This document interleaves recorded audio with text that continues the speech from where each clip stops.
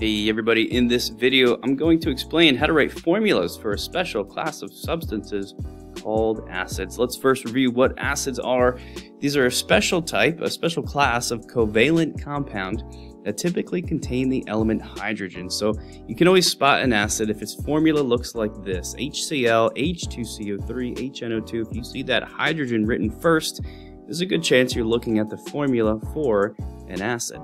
This video is not going to go over the rules for naming acids, but we do need to know the rules for naming acids because really we're just going to be working through these rules backwards. So I'm going to keep those at the top of the screen along with a list of polyatomic ions as we look at writing formulas for acids.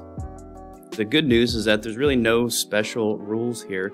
You just have to work backwards through those acid naming rules.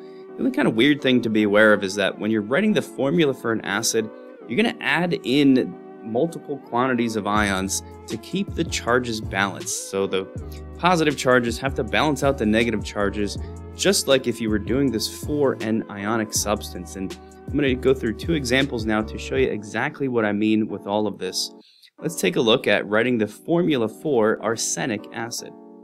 The first piece of the puzzle is the easiest, and that is because we know it's an acid based on the word acid at the end of the name, you can start off by writing a hydrogen. That's going to be the case for any acid formula that you have to write.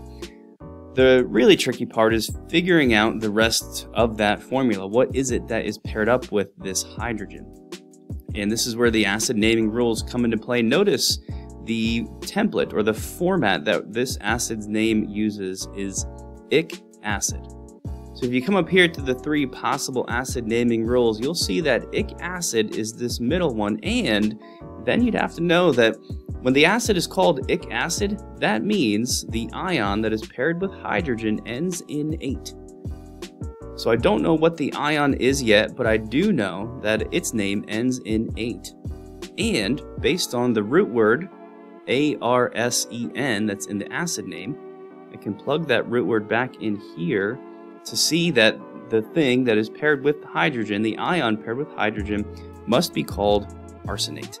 And while you may not know what that is, at least you now know what it's called, so you can go to a list of polyatomic ions and look it up. There's arsenate right there, ASO4, ASO4. So that's what I mean by using the acid naming rules backwards to figure out the type of ion that is with your hydrogen.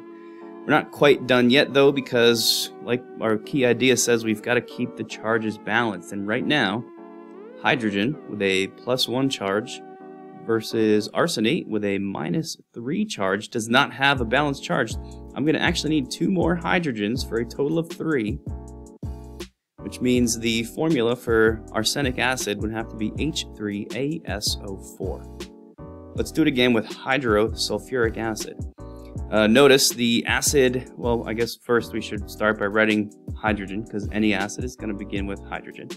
Uh, next up is the type of acid name I've got here is the hydroic acid template. So that's our first one on the list, hydroic acid.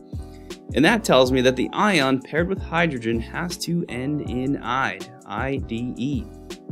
The root word sulf tells me specifically which type of ide that is, I'm looking here at sulfide.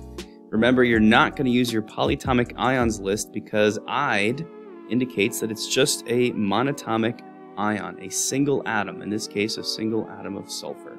So I've got hydrogen bonded to sulfur. To check that the charges are balanced, we'll test out an H with a plus one and a sulfide, which actually has a minus two charge.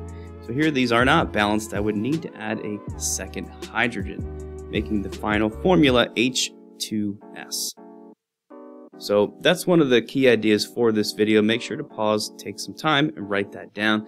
It also wraps it up for this video on writing formulas for acids. Thanks a lot for watching, and here is a brief summary.